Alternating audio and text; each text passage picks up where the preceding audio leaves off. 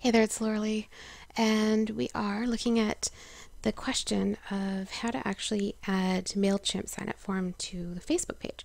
Um, if you go into your MailChimp account and you just type in um, Facebook, if you type in Facebook opt in or Facebook sign up um, into the MailChimp search bar, it will pull this up for you right away. So there's some pretty basic steps here. You need to link your MailChimp account to your Facebook account, which is that same kind of thing that we do with a lot of. Um, hold on a minute. I'm going to go back and show you that. Um, you know, where you need to click on approval so that the um, actual MailChimp can communicate. Let's, I'll show you the screenshots. You'll know what I mean. So you're going to go to integrations and you'll connect your Facebook and your MailChimp together. You'll click login and then you'll see this, which is probably familiar for you if you've um, linked any other app to Facebook. So kind of you're giving permission, and um, and then you so just follow these those simple steps steps to number eight, and then um, come back here and follow the rest of the steps that they're giving you. And I might not go through everything on this, but I will show you. So if you're on your account and you choose integrations right there, whoops, just took me to a new page. I didn't want to go to Mandrill. um, oh, I keep clicking on things. Sorry about that. Okay. Um, it looks like mine is already connected. So if I choose this again, it's probably going to make a mess. I'm not going to do that. But um, what I will do is I'll go over to Facebook and um, my business account or my Facebook page.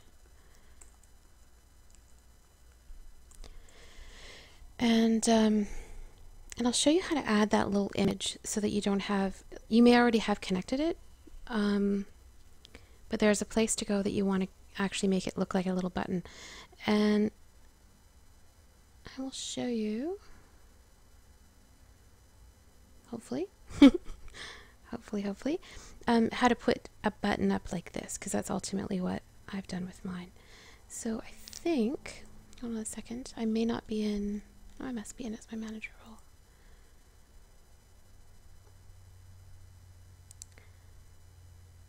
Alright, I think that actually takes me through, yeah, that does take me through right to the opt-in, which is what I want. I probably should update that. That looks very boring. Um, but what I want to do, sorry this is though, what I want to do is go in and actually edit that little one right there. Okay, yeah. So if you choose your drop down menu and then you um, hover over here, you'll see an edit. And this is where you can actually change the, um, the image. You can move these around to a different order. I'm going to click edit settings because I think that's where it is. No, that's just the name of it. Hold on a minute. Where's the image? Um, edit settings, link to this tab. No, that can't be right. Hmm.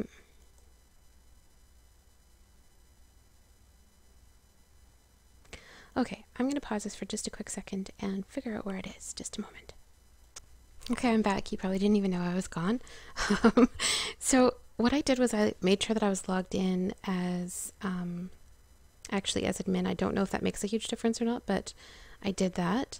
And then I came back and when I come back to look at the video later, I may actually see that this option was here all along and I somehow missed it. So it's pretty subtle. Um, I do remember seeing um, where I could edit this, and if this little button was there before, then that's all you need to do. You don't need to jump through to the extra hoops. Just click on, um, you might actually just be uh, editing it for the first time. So let's see, I'll go back to um, Twitter because I don't have a custom one there. I'll click this and edit settings. You'll, oh, same thing, there's nothing there. So if I just click change, it's not going to be any, oh, there's the actual Twitter image. Hover over it, click edit, and then just choose a file. So the file needs to be smaller than 5 megabytes, and you want to make sure that the file size is 111 pixels by 74 pixels.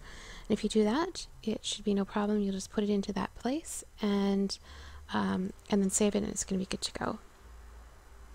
And that should be about it. So once you've synchronized your um, Facebook, you've brought it, or your MailChimp, you've brought it over to here, then it's going to have a strange little MailChimp image on it, which you probably won't like. And um, you can upload your own graphic so that it goes into this spot. And then you can also edit and move them around to a different spot if you want it to be, you know, closer to the front or something. And that's about it. Okay, I'll talk to you soon. Bye.